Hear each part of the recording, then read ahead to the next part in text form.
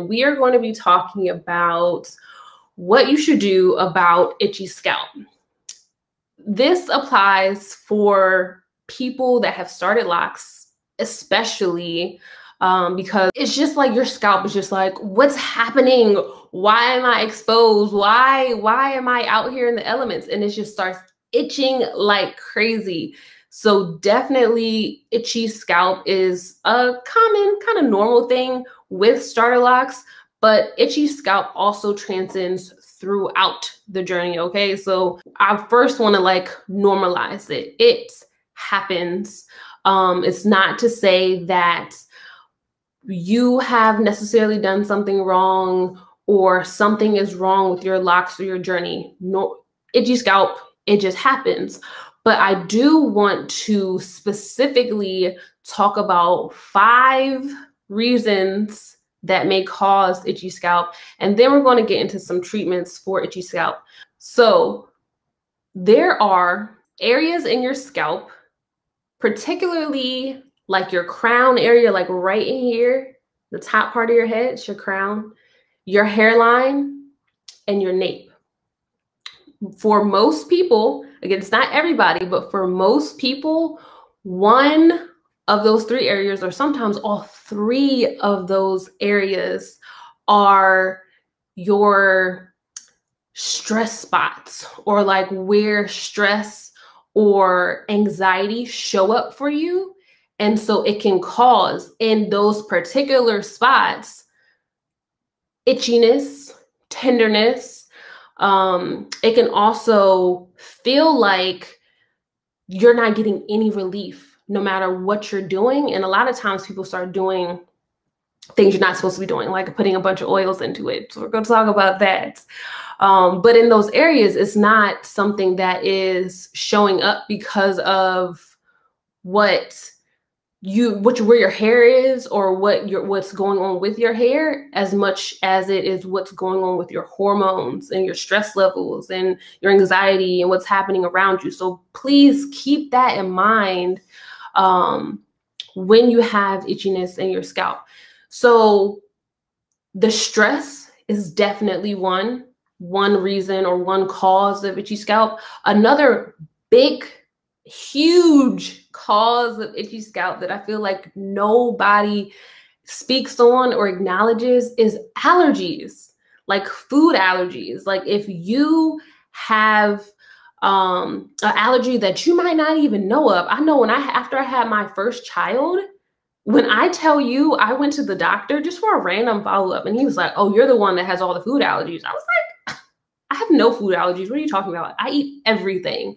And they were like, no, you have food allergies. I was like, I don't have food allergies. Like, how are you to tell me? I've been in my whole body for 25 years. Like, I don't have any food allergies. They ran my blood work for whatever reason after having first child. I had developed like eight different food allergies. And I'm talking like, I have to carry an EpiPen for these allergies. Came out of nowhere. And I've also met so many women um, and men who have, as they begin to age, because we're not getting older, we're aging, randomly, they get food allergies. And so you may be trying to topically treat or like grab this oil, grab this thing. Oh, I saw this on the gram. Oh, I, I saw this. I want to try this for my scalp. And whole time, your body is trying to tell you, like, you need to get this checked out.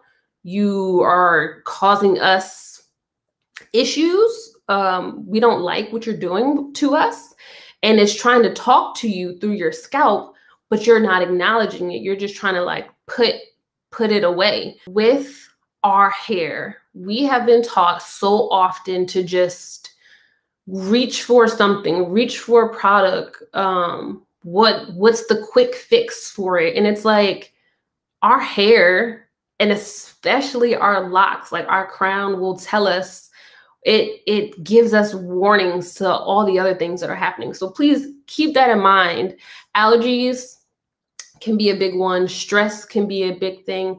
Uh, the other thing, and uh, I'm gonna get real with you guys because I love you. We're family. We're a community. When was the last time you washed your bonnet? Like, when was the last time you just, you know, threw it in the wash, cleaned it a little bit? your bonnet, even though you're sleeping, you may be sweating, you may be emitting different hormones. Um, it just might just, you know, just it just might be dirty. You know that one time last month or two months ago you decided not to wash your hair for three weeks you haven't washed your bonnet just yet? you know, it's kind of just showing up back in your scalp. So yeah, please wash your bonnet. Every time you wash your hair, wash your bonnet. Pandora says in your pillowcase too. I would highly suggest it because your skin, your face will thank you for that. Another reason that itchy scalp shows up for a lot of us is sweat.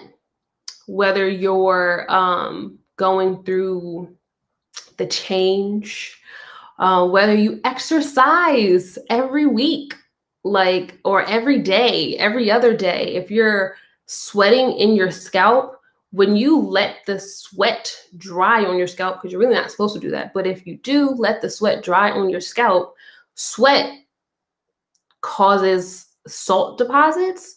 And we know too much salt, like think about when you go swimming in the ocean or things like that, if you leave it in your scalp, what happens? You start itching, your skin gets dry, everything's just like, oh, what's happening? What's happening?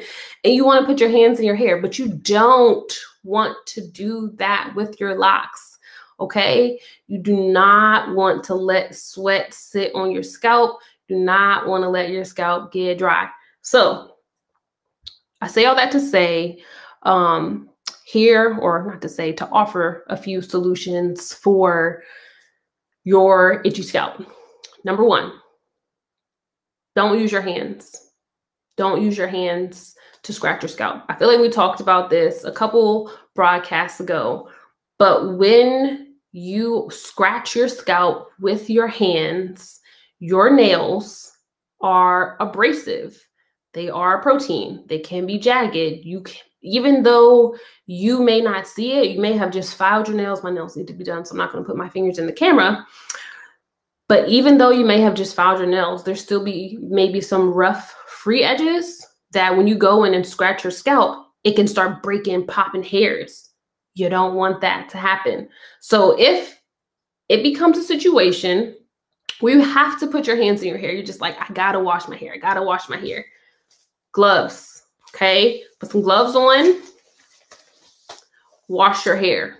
Number two, or not even number two, using a tool. So some people have combs, like rat tail. Uh, I know some people use pens and highlighters, like whatever you're grabbing as long as it's not jagged, definitely better than your hands. This is a scalp revitalizer and see it's like curved for the shape of your head. You can get in there, get under the loc where all the itching is. You know, this is one of those things that I feel like keep one in your car, keep one by your bed, keep one in the bathroom. Just gives you a really good scalp massage and it lets you get under the loc without disrupting the locking process. Okay, so please be careful with using your hands to wash your hair. Um, the next thing that I want to um, point out please, again, don't reach for oils. Don't um, just try to put something very topical in your hair to try to solve the problem. Instead of applying lots of oils, you want to reach for a moisture based product, specifically an astringent. And I say that because with scalp conditions like seborrheic dermatitis, scalp psoriasis, um, dandruff, putting more oil to the scalp is only going to make the problem worse because what's happening at your scalp that's causing the itching, if you're putting oil on it, you're feeding it and so it's going to make it, it's going to make your skin cells turn over more, which is going to cause more itching, which is going to cause more flaking, which can cause more flakes. Like, don't do the oil. Okay. Most scalp conditions, your regimen is minimal oil, if at all. It's especially direct to the scalp. Okay. One of the questions I have tonight from the text club, hey text club, if you're not part of the text club, the digital text club, get head over to curlynewgrowth.com backslash community and join us there. But with the question, or one of the questions I had tonight is like, can I apply oils to the scalp? Have to be very careful about that, okay? So, minimize the use of oils, don't use your hands, and reach for an astringent. So, um, Tiffany asks, what type of astringent? So, astringent is basically the term for something that is going to cleanse. And a common astringent that is often used for your scalp is witch hazel. That's a uh, really common um, herbal natural solution for um, scalp itching. If you're going to get witch hazel, please make it source alcohol free. Uh, I use Sea Breeze, and so I was going to say that, but the issue with Sea Breeze is that Sea Breeze has alcohol in it, and so you're already talking about your scalp is itchy. Putting alcohol to your scalp can dry it out. And so, yes, I do agree with you. Yes, it's going to um, help alleviate the itching, but then you might put yourself in a place where you're tr- then trying to combat dryness from the um, from the sea breeze. So if it's working for you, you know, yes, do what works for you. Um, but that's something you want to keep in mind. Pure scalp, you guys. Um, pure scalp is a moisturizing astringent. Okay, formulated it specifically for us with locs and for those of us that are exercising all the time and needing relief. It also helps to deodorize the scalp. And um, you don't want to put anything again in there that's going to cause cause of dryness. All right. Um, Meredith, also part of the text club, says, What can I do to combat my patches of psoriasis on my scalp and take care of my locs in the best way possible? You, first of all, you don't want to like pick at your patches with your, uh, with like a comb or anything because that abrasion can make it worse. Think of scalp psoriasis like cradle cap for a baby. When babies have cradle cap and it's left untreated, so it stays there for a while, or you try to pick at it, the patches come up, but it takes the hair with it. And so that's the same thing that can happen as an adult with psoriasis. You can take patches of hair out of the head if you're not careful how you are addressing it. So um, what your regimen looks like is going to include a uh, medicated shampoo for sure. I would highly recommend a medicated shampoo because that can help manage it so uh, you don't have um, a lot of flare.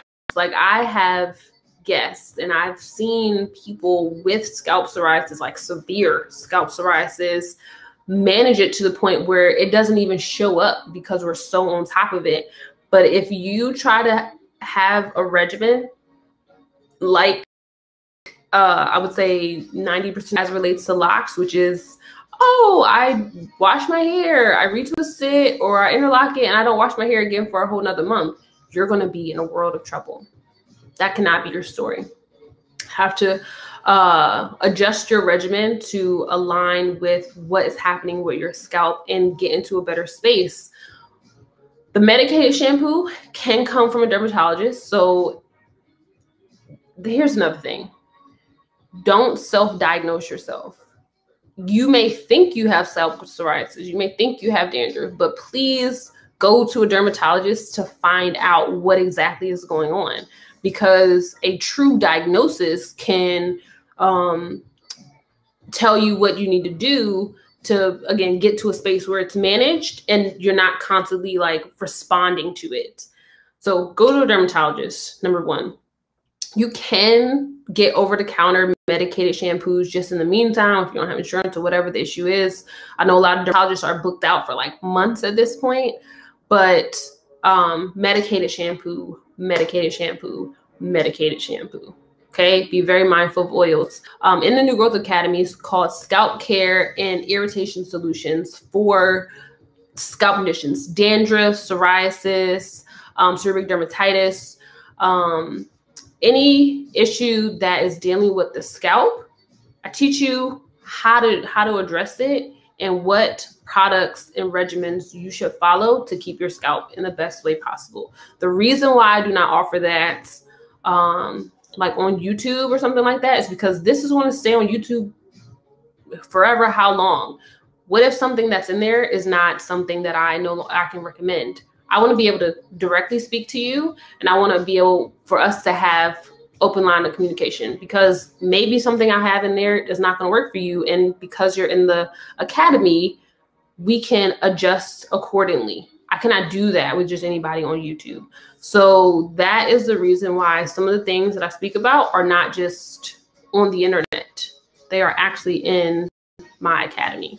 Oh, natural said I had no idea I had a scalp condition until my loctician told me to go see a dermatologist. I thought I was just terrible at shampooing for years. See, exactly, exactly. And that's why, again, this conversation I felt like was so important because itchy scalp, coupled with our hair trauma, coupled with um, not even understanding the holistic um, approach to caring for our hair and our scalp, which is including thinking about food allergies, thinking about uh, your bonnet and when the last time you washed it, thinking about your stress, thinking about how you um, acknowledge and listen to your scalp, thinking about when the sweat dries on your scalp, how much that's going to impact your locs um, that day, a week from now, or two weeks from now, whenever you wash your hair.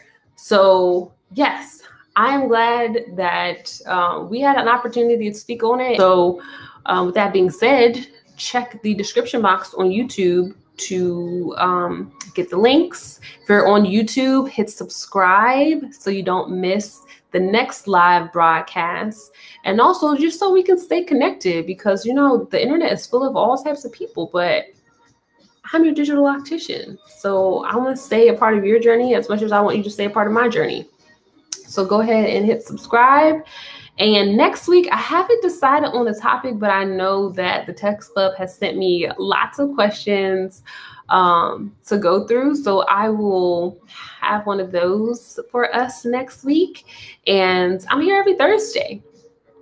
Cam, this you hold me down every week. Please like the video. I always forget that. But yeah, like the video, share the video, most importantly, um, because you can help a friend. You know, we are here. I am here to help you cultivate the healthiest of locs possible. I believe that you want that for yourself and others. So share. Sharing is caring. Peace, love, and good vibes.